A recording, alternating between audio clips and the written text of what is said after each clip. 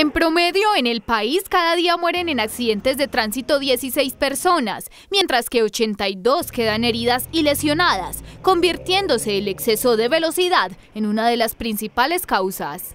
La invitación es a que se cumplan con todos esos requisitos, a que se conozcan las normas de tránsito, a que no se conduzca con exceso de velocidad. Yo invito a todos los conductores, no solamente de nuestra empresa, sino del, municipio en general y del país, acogernos a todas estas normas que tiene el ministerio, que no es capricho de ellos, sino que son cosas que tenemos que implementar para la seguridad vial del peatón y de nosotros como tal.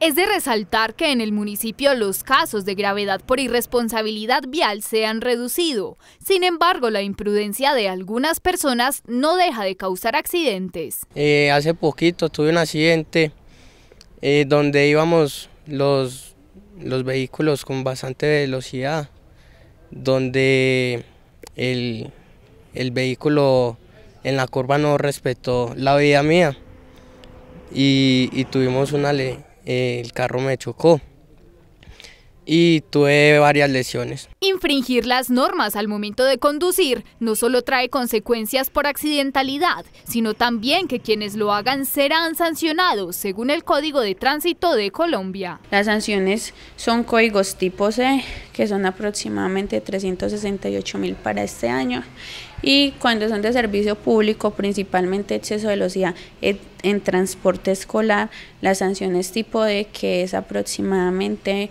de 737 mil pesos. Excederse en la confianza consigo mismo y el vehículo es la razón por la cual muchas familias han padecido hasta la pérdida de seres queridos.